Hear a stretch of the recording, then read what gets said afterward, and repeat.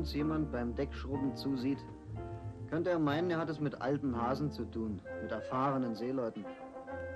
Womöglich fällt es auch niemandem auf, dass für einige von uns diese Fahrt der erste große Turn ist. Und offen gesagt, im reinen Schiffmachen haben wir auch ganz schön Übung bekommen. Denn in zweieinhalb Wochen auf See liegt diese Aufgabe ein paar Mal an. Auch für uns als zukünftige Offiziere der Volksmarine.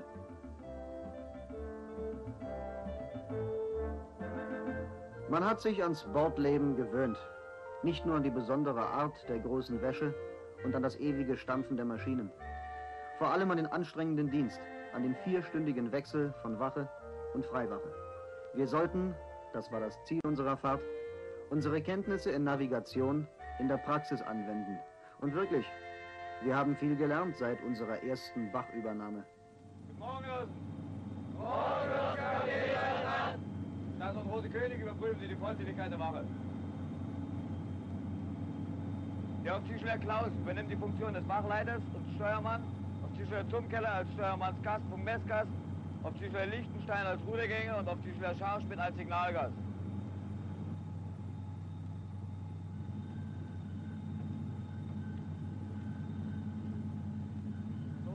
Wache zur Wacherbildung bereit. Wachleiter der zweiten Wache vor der König. Lassen Sie Wache ablösen.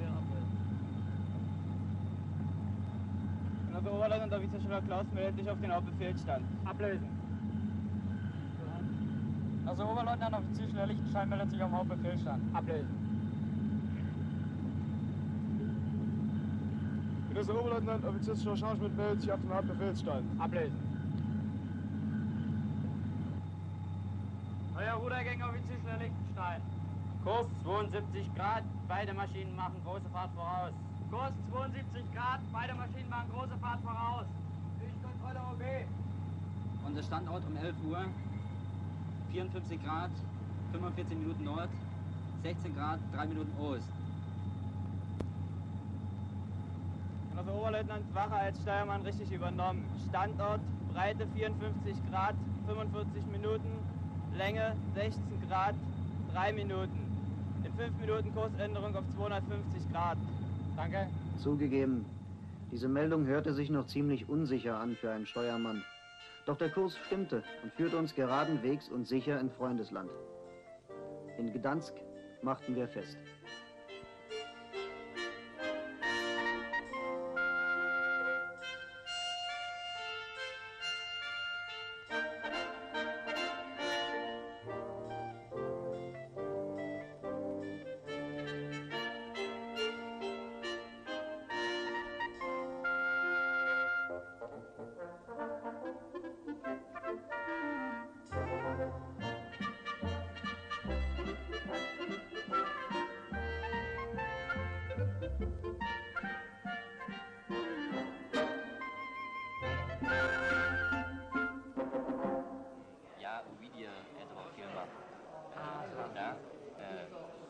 Хороший, да?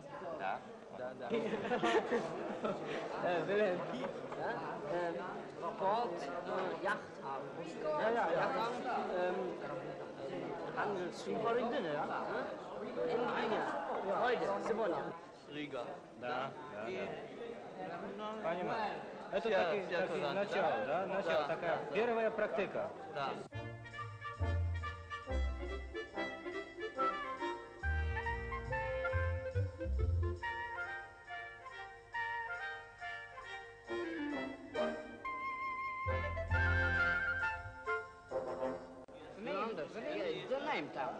Name? No, the name. Um, it is. It is because Świnoujście, Gdynia, the port, Kołobrzeg. U nas, u nas wordt L, LSM, ja? Malin, eh, Mal, eh, Sardina i LSK.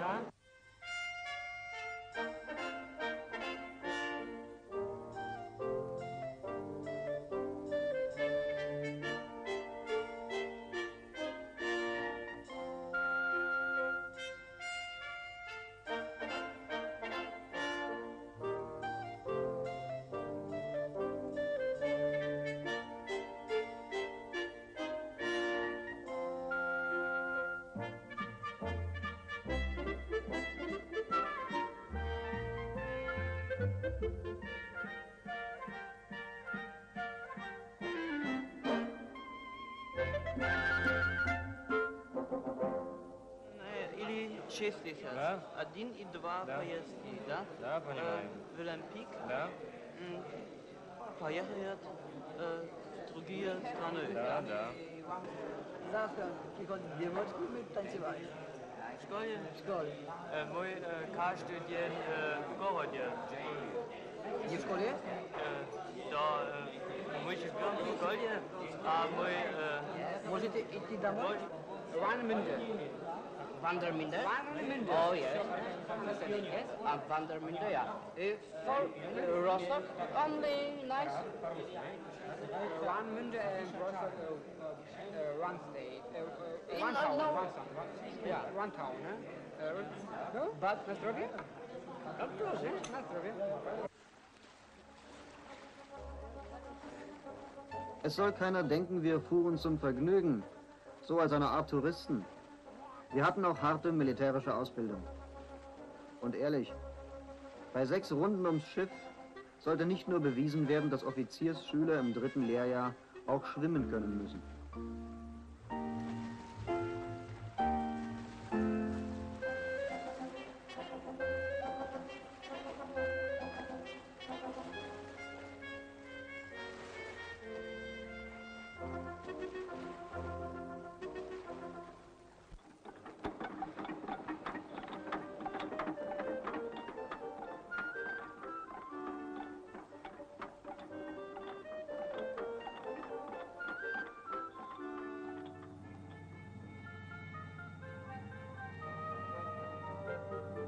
Immer wieder stand auf unserem Lehrprogramm Schiffsführung, was so viel bedeutet, dass die verschiedenen Möglichkeiten der Standortbestimmung trainiert werden. Für uns am ehrenvollsten war natürlich der Dienst auf dem Hauptbefehlsstand. Es sieht aus, als führten wir schon ganz allein das Schiff. Allerdings, hin und wieder hatten wir unseren Lehrer nötig.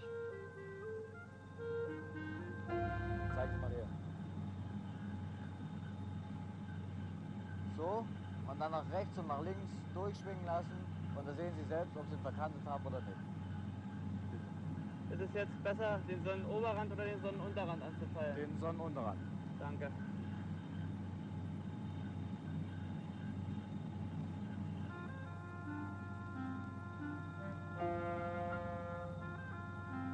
Tagelang ganz und gar Navigationsbelehrungsfahrt. Doch dann wieder Freundschaftskurs. Diesmal ging es nach der Hauptstadt der estnischen sozialistischen Sowjetrepublik, Tallinn.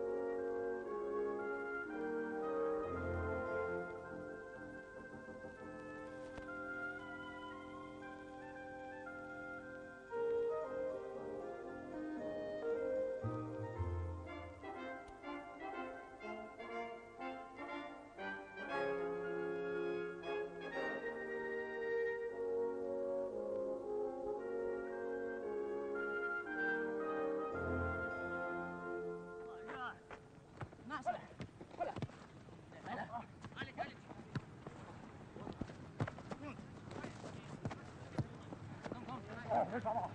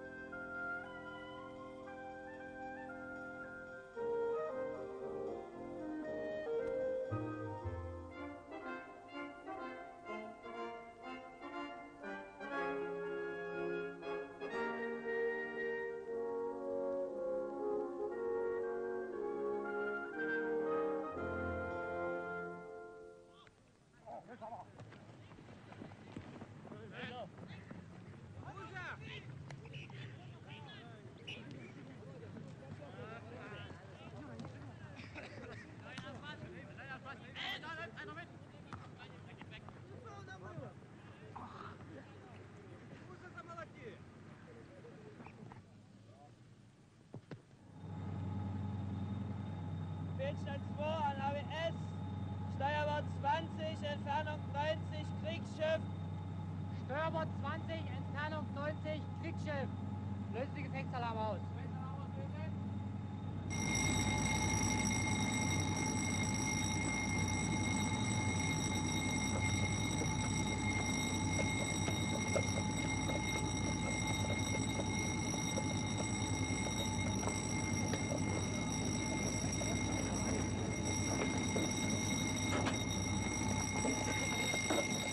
Gefechtsalarm auf einem Kampfschiff ist nichts Außergewöhnliches. Das gehört nun mal zur militärischen Praxis und wenn auch in diesem Fall die Feindsituation nur angenommen war, so heißt es doch, seine Gedanken zusammennehmen und so handeln, wie man es gelernt hat. Schnell reagieren, scharf beobachten und vor allen Dingen wissen, warum. Hier ist 1 2 abwehrbereit. Hier ist 4 2 5 2 abwehrbereit. Der 5 Plan 6. Am PS 1. Schiff ist klar zum Gefecht. Jedenfalls, das steht fest. Wir lassen keinen an uns heran und es ist gut, wenn man sich mit seinen Freunden darin eins ist. Wenn man den Feind sicher im Visier hat.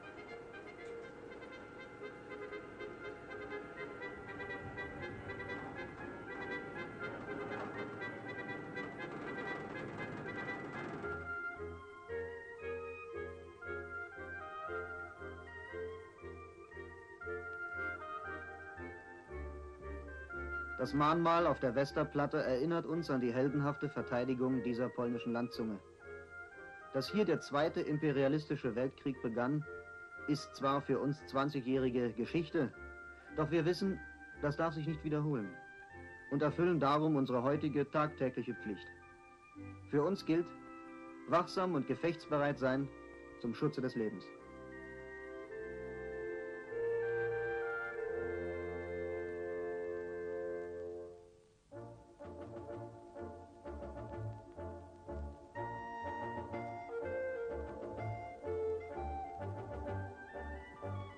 Das war unsere Fahrt. Nützlich, aber auch schön. Wir haben uns eine ganze Menge Wind der Praxis um die Ohren blasen lassen, haben unsere Aufgaben erfüllt. Ob auf dem Befehlsstand oder in der Maschine. Wir kehren erfahrener nach Hause zurück und haben viel erlebt. Und was das Wichtigste ist, wir sind unserem Ziel, Offiziere unserer vereinten sozialistischen Militärmacht zu sein, wieder näher gekommen. Wir haben unseren Standort bestimmt und wissen, wohin wir steuern. Oder, wie es auf See heißt, Kurs liegt an.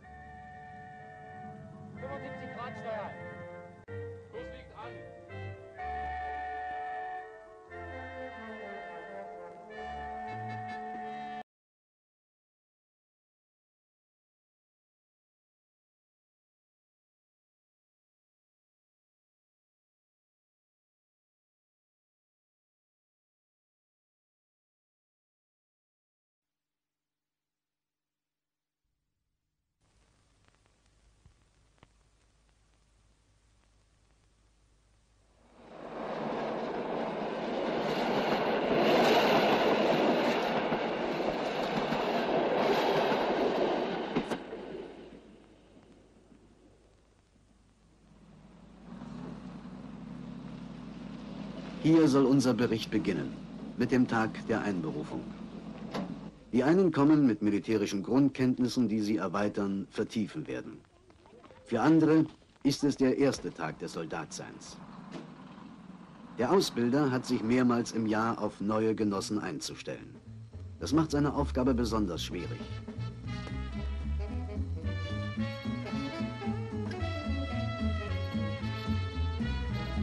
Diese Reservisten wird man in den kommenden Wochen Eisenbahnbaupioniere nennen.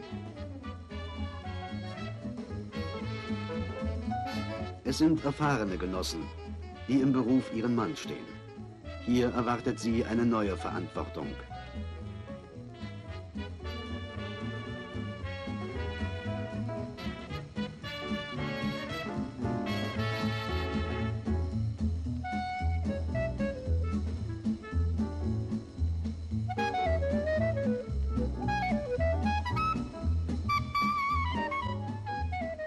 Klassenauftrag erfüllten sie gestern an der Werkbank.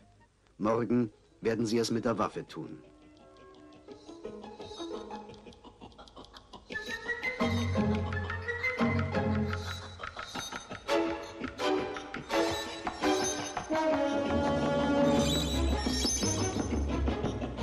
Für Ungediente ist alles neu, ungewohnt.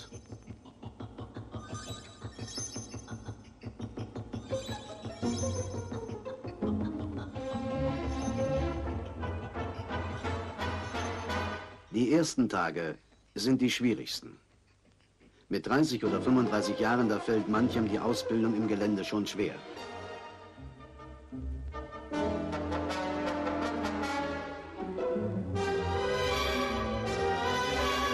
Soldat sein aber heißt, in jeder Lage bestehen. Deshalb immer wieder trainieren, bis alles klappt.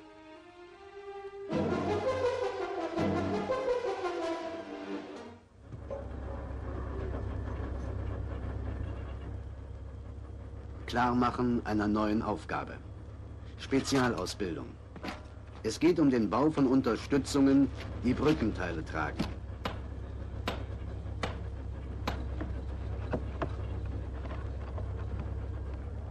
Manche Genossen können ihre Berufserfahrung mit in die Waagschale werfen.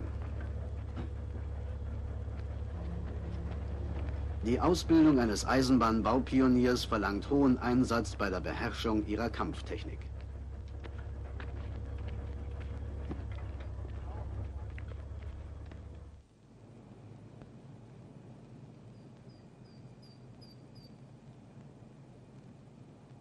Zwischen den Gefechtsaufgaben Stunden der Ruhe, der Entspannung.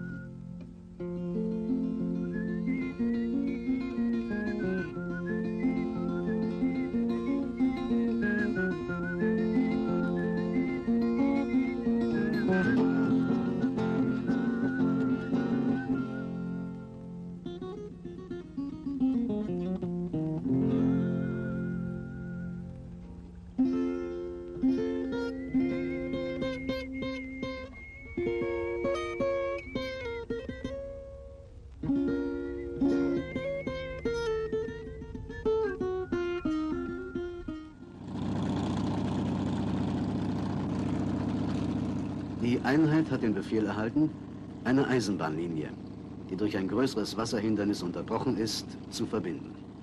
Kurz, eine Eisenbahnschiffsbrücke zu bauen.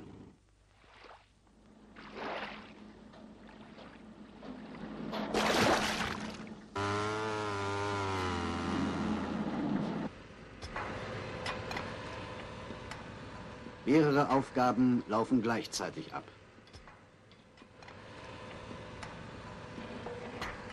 Im großen Brückenbaugefüge haben diese Genossen den Auftrag, Unterstützungen für jene Brückenteile zu bauen, die das Flussvorland überspannen. Für alle heißt das zähes Ringen mit jeder Stunde, mit jeder Minute. Bei einer Übung steht jeder im Examen. Jeder Soldat, jeder Ausbilder, jedes Kollektiv.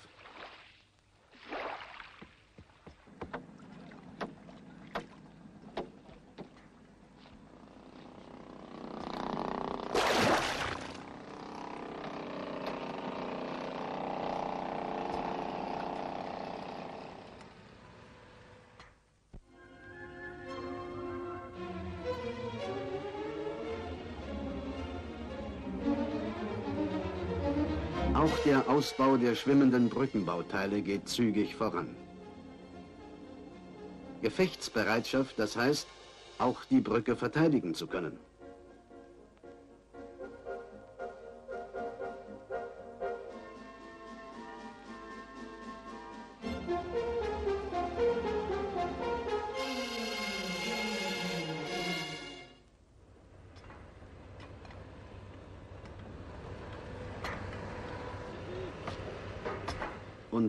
Unser Kollektiv, nimmt jeder Genosse den Kampf mit der Zeit auf.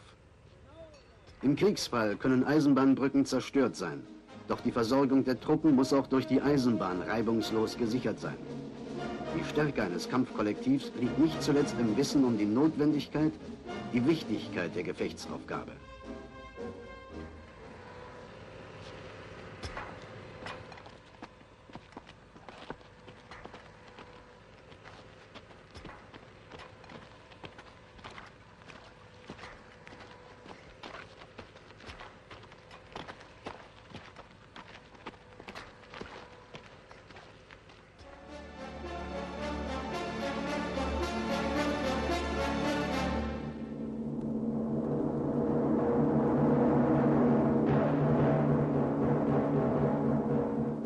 Nächste Bauabschnitt. Montage der Brückenüberbauten. Exakte Organisation, fachliches Können, hoher geistiger und physischer Einsatz, hohe Kampfmoral. Eigenschaften, ohne die auch der Eisenbahnbaupionier nicht bestehen kann. Zu beiden Seiten des Flussvorlandes schiebt sich nun die Brücke, die fast ausschließlich aus Fertigteilen besteht, auf die Ufer zu. Fest verankert liegen die schwimmenden Brückenteile in der Brückenachse. Das Werk nimmt fertige Gestalt an.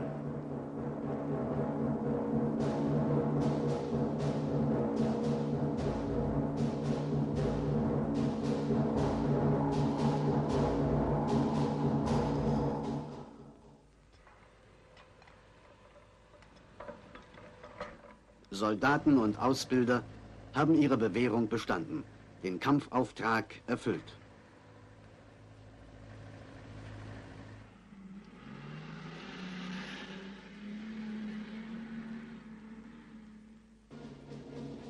Morgen steht sie, die Eisenbahnschiffsbrücke.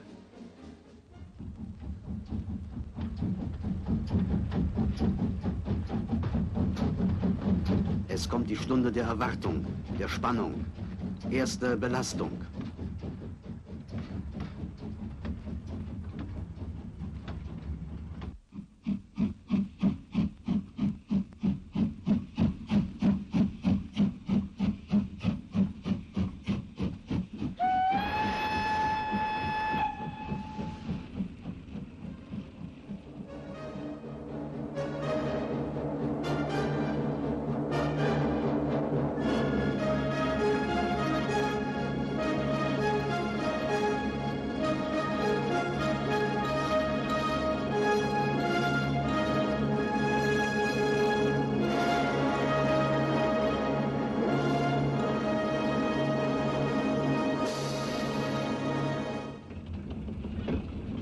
Die Brücke ist selbst großen Belastungen gewachsen.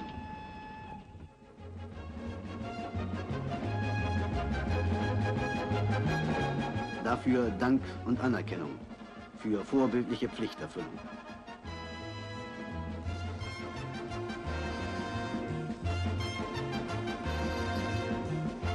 Tag der Entlassung.